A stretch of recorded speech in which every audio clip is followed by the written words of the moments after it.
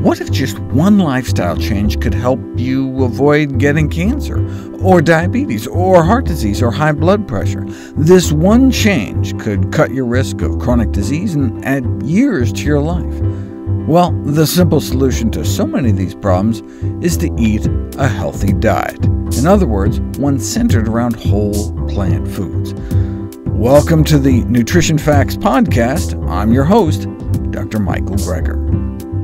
Today we look at some of the latest research on leaky gut syndrome. Did you know that common drugs, foods, and beverages can disrupt the integrity of our intestinal barrier?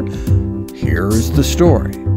Intestinal permeability, the leakiness of our gut, may be a new target for disease prevention and therapy.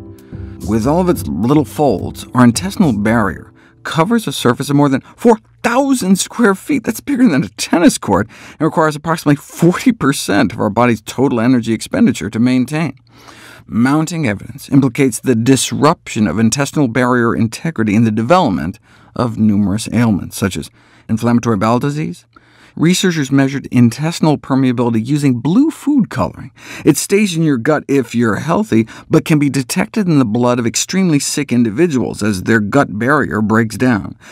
You don't have to end up in the ICU to develop a leaky gut, though. Simply taking some aspirin or, or ibuprofen can do the trick.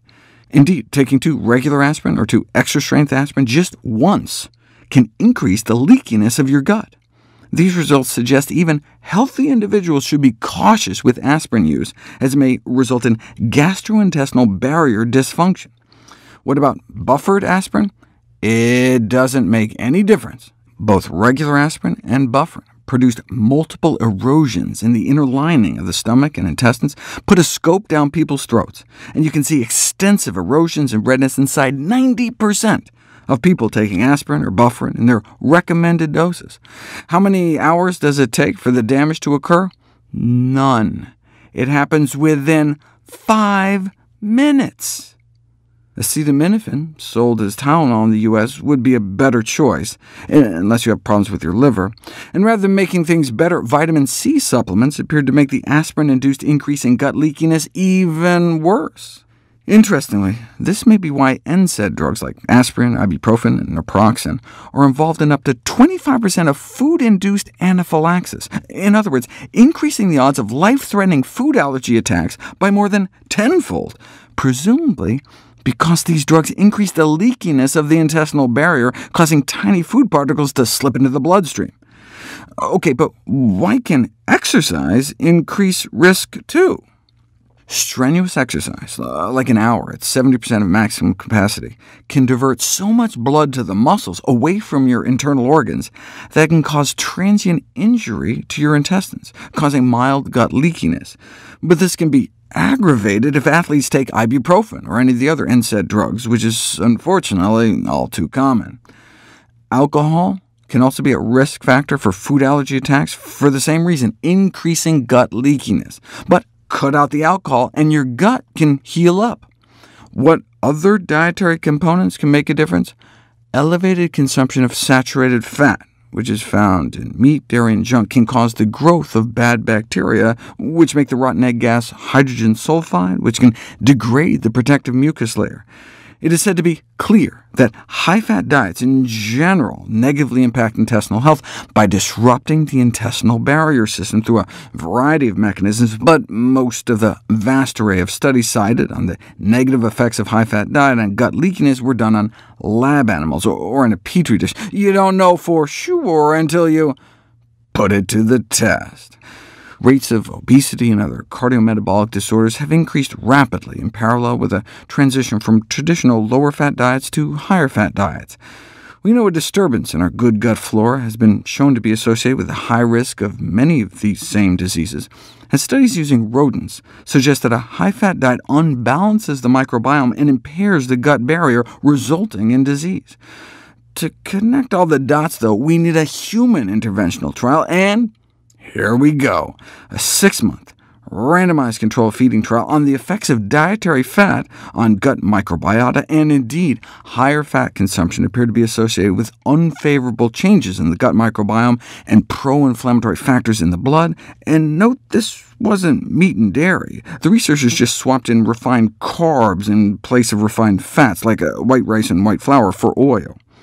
These findings suggest countries westernizing their diets should advise against increasing intakes of dietary fat, while countries that have already adopted westernized diets should consider cutting down. So far, we've discussed things to prevent a leaky gut. What about foods to heal a leaky gut? That's what we'll cover next.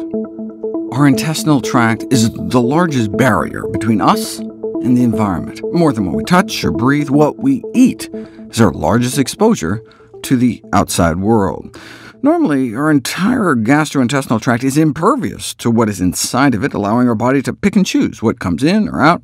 But there are things that may make our gut leaky, and chief among them is our diet. Uh, what happens is the standard American diet can cause gut dysbiosis, meaning a disruption in our gut microbiome, which can lead to intestinal inflammation and a leaky intestinal barrier. Uh, then tiny bits of undigested food, microbes, and toxins can slip uninvited through our gut lining into our bloodstream and trigger chronic systemic inflammation. To avoid this dysbiosis and intestinal inflammation, plants should be preferred. Vegetarian diet gut bacteria are associated with intestinal microbiome balance, high bacterial biodiversity, and integrity of the intestinal barrier.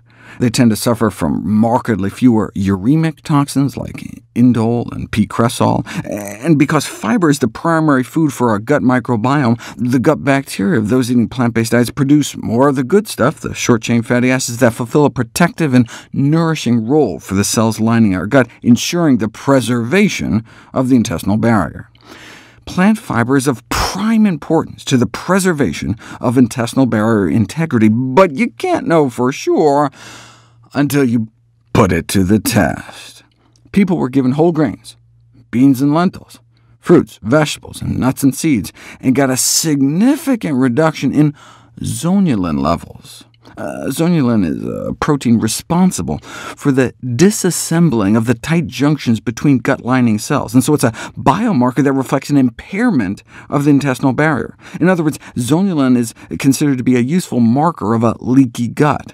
But since adding all those plants seem to lower levels, that may imply that appropriate fiber intake helps to maintain the proper structure and function of the intestinal barrier.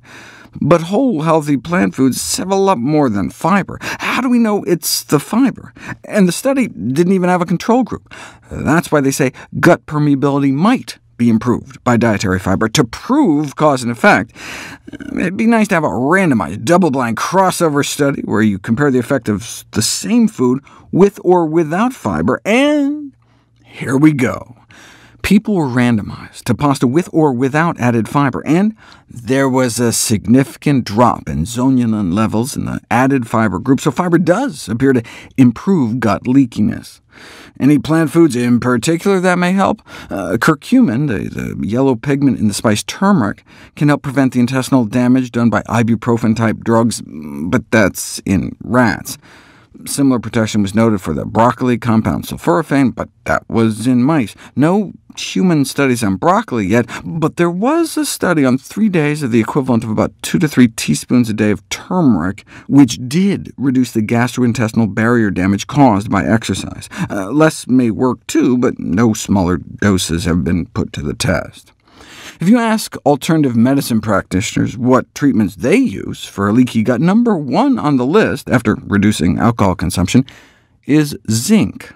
Zinc doesn't just protect against aspirin-like drug-induced damage in rats, when put to the test in a randomized trial of humans, the same thing was found. The NSAID drug indomethacin caused a threefold rise in gut permeability, as one would expect from that class of drugs. But when they were also taking zinc, this prevented the rise in permeability, strongly suggesting a small intestinal protective effect. Um, the dose they used was massive, though, 75 milligrams a day. That's nearly twice the tolerable upper daily limit for zinc. Uh, what about getting zinc just at regular food doses? There was a significant improvement in gut leakiness, even with a dose of just 3 milligrams of zinc, suggesting that even relatively low zinc supplementation may work. You can get 3 extra milligrams of zinc in your daily diet eating a cup of cooked lentils. We would love it if you could share with us your stories about reinventing your health through evidence-based nutrition. Go to nutritionfacts.org slash testimonials. We may share it on our social media to help inspire others. To see any graphs, charts, graphics, images, or studies mentioned here, please go to the Nutrition Facts Podcast landing page. There you'll find all the detailed information you need, plus links to all the sources we cite to each of these topics. My latest two books are How to Survive a Pandemic, available on ebook, audiobook, or actual book, and the How Not to Diet cookbook, with more than 100 recipes for delicious and nutritious meals. All proceeds I receive from the sales of my books go to charity. NutritionFacts.org is a nonprofit, science-based public service where you can sign up for free daily updates on the latest in nutrition research via bite-sized videos and articles. Everything on the website is free.